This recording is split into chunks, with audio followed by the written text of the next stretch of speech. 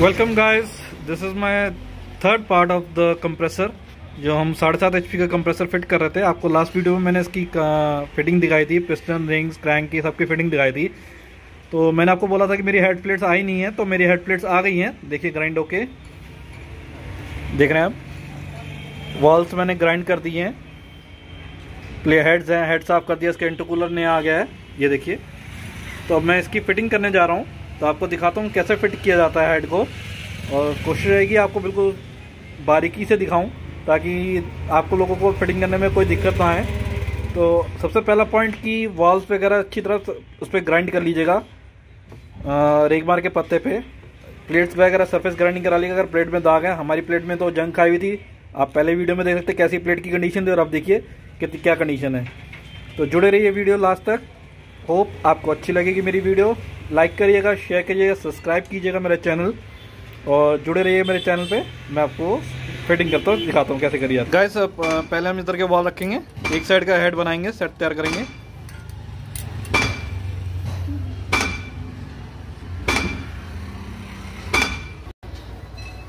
ये हटा के हेड के साफ़ सफ़ाई कर रहे हैं।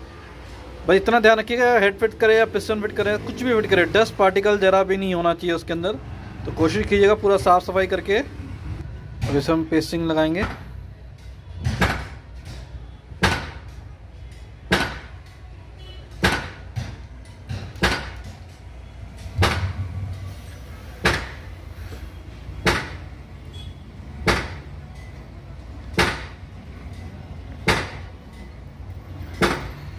देखिए इतनी बारीकी से एना पॉन्ड लगा रहे हैं ताकि वाल के ऊपर नहीं जाए एना पॉन्ड अगर ये वाल के ऊपर जाके चिपक जाएगी तो ये आपका हेड काम करना काम नहीं करेगा।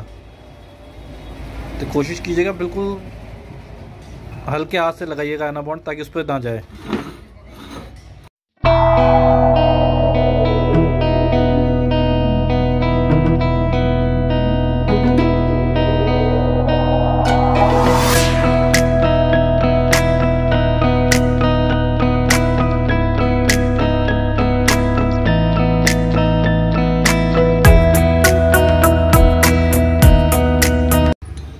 इसके आउटर डाया पे लगाएँगे ना बॉन्ड इनर डाया पे ये दो जगह ही लगती है, और बाकी सिर्फ़ आउटर डाया पे लगती है और कहीं नहीं लगेगी।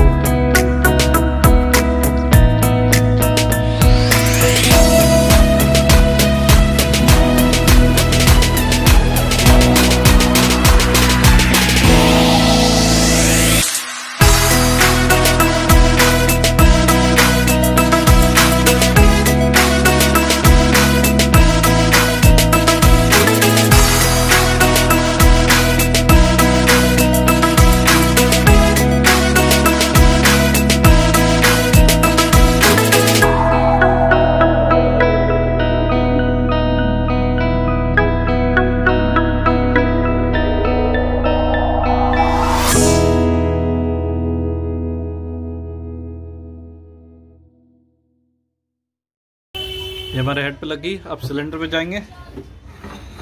इसको साइड कर देते हैं। अब सिलेंडर पे लगाते हैं। सिलेंडर में सिर्फ़ आउटर डाया पे लगेगी। अंदर नहीं जानी चाहिए। एनाबॉन्ड अंदर जाएगी तो वो वाल से चिपक जाएगी। उसका कोई फ़ायदा नहीं है।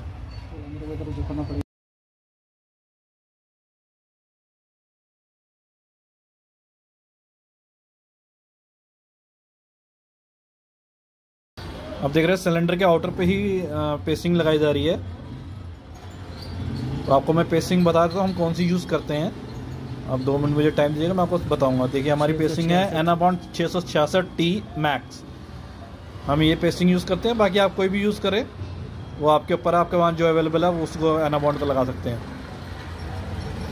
ये वाला एनाबॉन्ड का ये वाले एनाबॉन्ड का ये फ़ायदा रहता है कि जब उसको छोड़ाया जाता है जब उसको खोला जाता है तो छुड़ाने में ये आसानी होती है। ये चिप इतनी सॉलिड नहीं चिपकती कि निकालना मुश्किल हो जाए।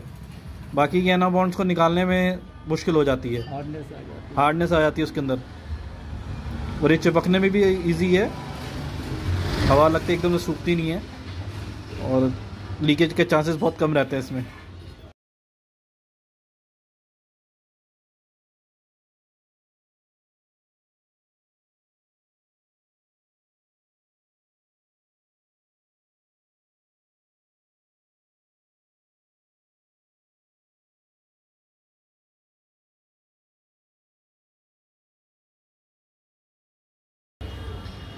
देखिए, हमारे पूरे राउंड सिलेंडर पर लग गई है हैना बॉन्ड अब देख सकते हैं, हमारा अंदर इनर में कहीं नहीं जाने का चांस दिया हमने आउटर पे लगाई है। अब हम उसको वापसी हेड के ऊपर जाते हैं प्लेट रखते हैं। प्लेट के ऊपर हल्की सी एना बॉन्ड लगाएँगे। मैं आपको दिखाता हूँ। ये देखिए प्लेट हमने रख दी है। अब एक चीज़ का ध्यान रखिएगा। आपको मैं इस पर दूसरी प्लेट से दिखाता हूँ। जो ये बड़े सुराख हैं, ये ऊपर की साइड रहेंगे। और ये जो छोटे सुराख है ये वाल के ऊपर जाएँगे। ये वाल के ऊपर रखे जाएँगे। जैसे देखिए देखिए इधर बड़े बड़े सुराख है और इधर छोटे सुराख हैं। ये वाल की तरफ़ जाएँगे दोनों।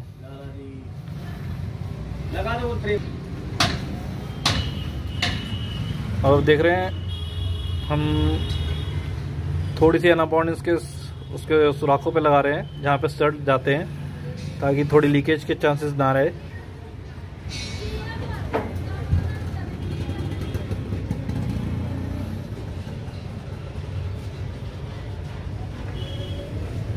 ये देखिए। आपको वॉल दिख रहे होंगे, अंदर की साइड ये छोटे सुराखों की साइड है, बड़े सुराख उसके ऊपर है, जहाँ से हवा अंदर जाएगी। ये छोटे सुराख है, ये आपके वॉल पे, इधर वॉल पे जाएँगे। सो so गाइस हमारे हेड पे प्लेट पे एनाबॉन्ड लगी है, अब हम उसको उठा के सिलेंडर पे लगाएँगे। आप, ये छोटे सुराख जाएँगे वॉल वाली साइड जो वॉल हेड सिलेंडर पे लगे हैं, उस पर साइड जाएगा। और फिर हम आपको फिटिंग करके दिखा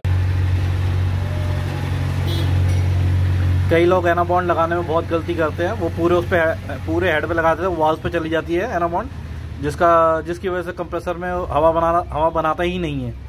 और लोग सोचते हैं कि कंप्रेसर में कोई कमी है। तो प्लीज़ इस चीज़ का ध्यान रखिएगा। एनाबॉन्ड उतनी लगाइए जितनी ज़रूरत है।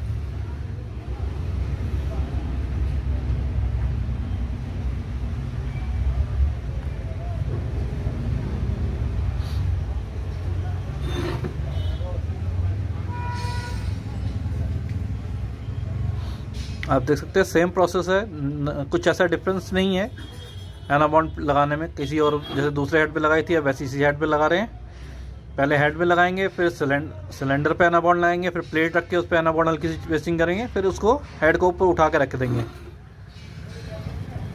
और पहले हेड के ऊपर प्लेट रखिएगा कभी भी सिलेंडर के ऊपर प्लेट नहीं रखिएगा। आपका हेड कभी भी फिट नहीं होगा इसके अंदर।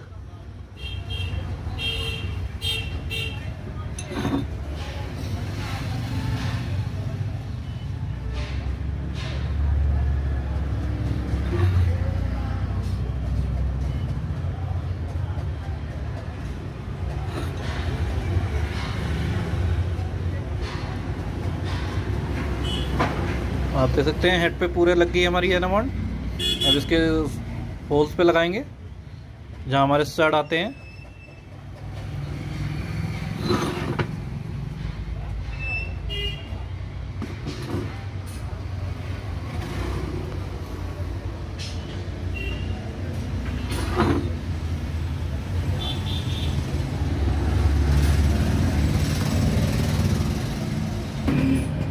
हेड पे कंप्लीट हो गई हमारी पेस्टिंग अब हम उधर जाएँगे सिलेंडर पे लगाने।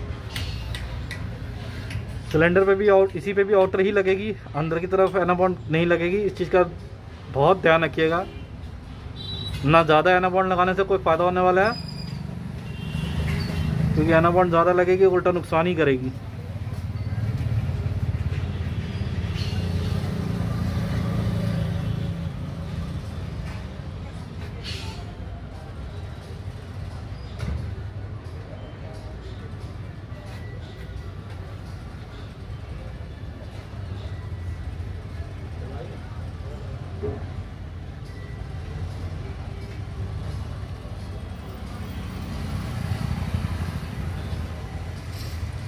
काम तो जब भी करेगी ना हमारे हाँ। उस पर देखिए प्लेट का फिर से आपको बता रहा हूँ एक बार।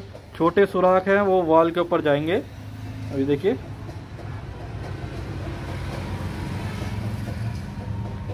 देखिए बड़े सुराख ऊपर को हैं और छोटे सुराख नीचे की तरफ़ गए हैं। और ये वाले छोटे सुराख आपके जाएँगे हेड के ऊपर वो जो वॉल रखे हैं उस पर जाएँगे।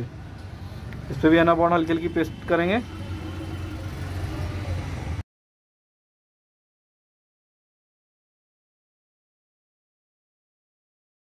करने जा रहे हैं? इस पे?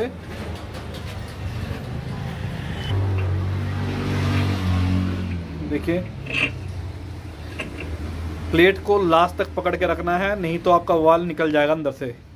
इस चीज़ का ध्यान रखिएगा। अभी उसके हम नट कसेंगे। कसने पूरे नहीं है। हल्के हाथ से कसने और थोड़ा सा लूज छोड़ना, क्योंकि हमें इसका इंटरकूलर फिट करना है।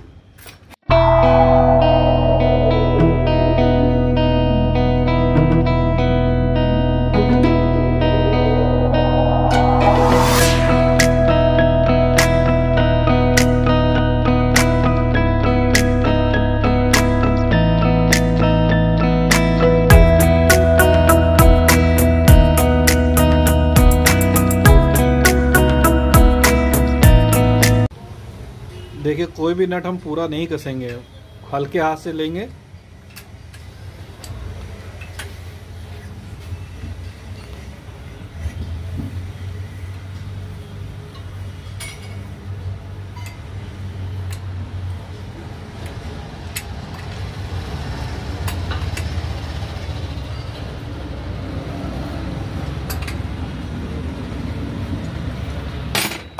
अब आती है हमारे इंटरकूलर की फिटिंग की बारी।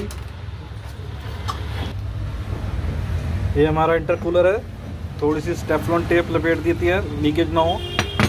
ये है कॉपर वॉशर्स जो इंटरकूलर और नट के बीच में लगेंगी, जिससे हमारे यहाँ लगती हैं। जितना गैप हो उस सबसे कॉपर वॉशर्स लगती हैं। इसमें दो दो कॉपर वॉशर्स लगनी है, जिससे लीकेज नहीं आती।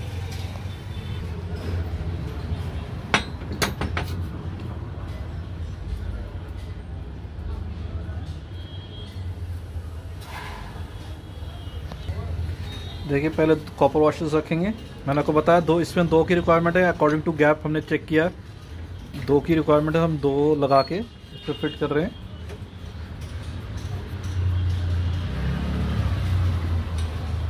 दूसरी साइड भी दो लगाई हैं। देखिए गैप पूरा कवर हो गया है। आप देख सकते हैं आपको वीडियो में कहीं उसमें गैप नज़र नहीं आ रहा, उसके इंटरकुलर और नट के बीच में।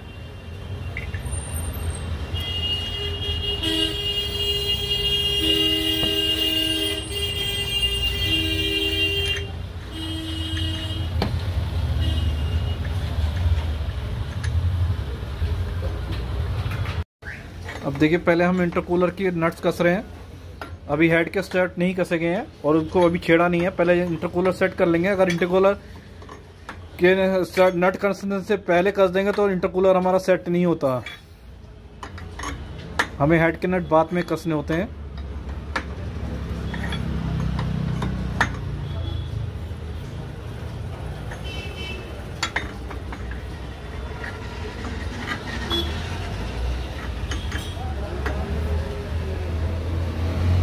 अच्छी तरह से टाइट कर दिया हमने इसको। एक तरफ़ से, दूसरी तरफ़ से ही कर रहे हैं चलो टाइट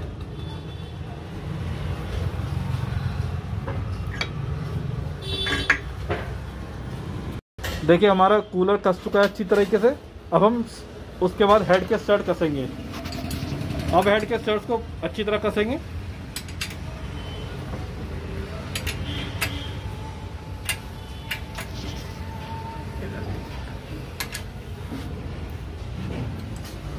इससे हमारा इंटरकूलर का टूटने का भी डर नहीं रहता और लीकेज रहने के चांसेस भी बहुत कम रहते हैं। ना के बराबर ही होते हैं इसलिए हम ऐसा करते हैं इसको।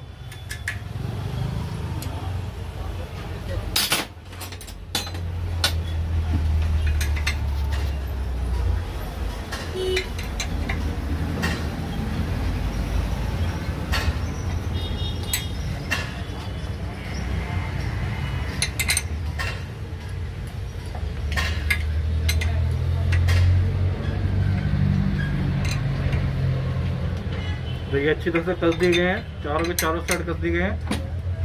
ये देखिए। अब इस तरह के ऐड के कसेंगे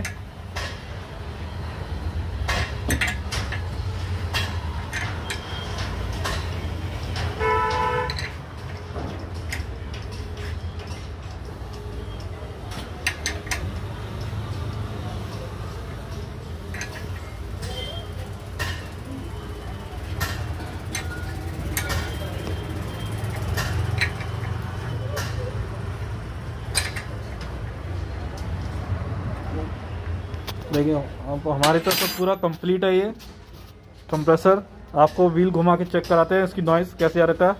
पिस्टन चेक कराते हैं, देखिए। देखिए। आप देख सकते हैं कितना प्यारा सक्शन ले रहा है। और दूसरे हेड का चेक कराता हूँ।